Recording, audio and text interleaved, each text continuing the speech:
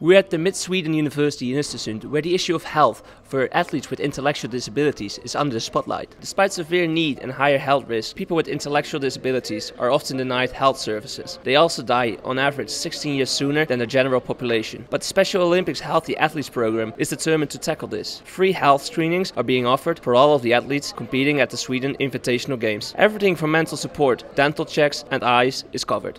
So they get tools how to have a healthy and active lifestyle and uh, make it possible for them to do sports. It's the first time that this is taking place here in Sweden. We are very excited, it's going really well. A lot of athletes have been passing by, we have screened local community members and we see this as the kickoff for a greater health initiative in Sweden. We're absolutely thrilled with the Healthy Athletes event that Special Olympics Sweden has put together here in the region. This is going to be a really great stepping stone for a continuation of the program. It's estimated that about 100,000 Swedish people have an intellectual disability. They often experience challenges when it comes to access to and quality of healthcare. For example, around 50% uh, of people with intellectual disabilities in Sweden are obese and the Healthy Athletes program that we have aims to educate and empower our athletes to make healthier lifestyle choices and address these health issues. With 300 athletes expected to come through during this event, Sweden is the first Nordic country to host a Special Olympic screening of this size. And while there's a common perception that Sweden is a leader in providing equal access to quality healthcare for people with intellectual disabilities, this is however not always the case. But steps towards a more inclusive health and medical care system are being taken as the Invitational Games is leaving its mark in the region. And we call Fun Fitness and they're really fun in here and they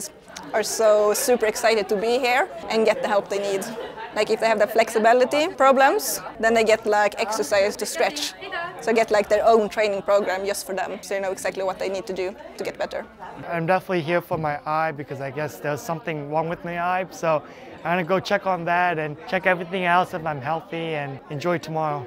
It is very important. I feel like even impact me as well because when I was born I was very sick and had a lot of health issue and the fact that there was such thing as Special Olympic, I get to go competitively and then this health, this athlete program, it really helped me a lot because they get to check on me and how I do and it really helps a lot.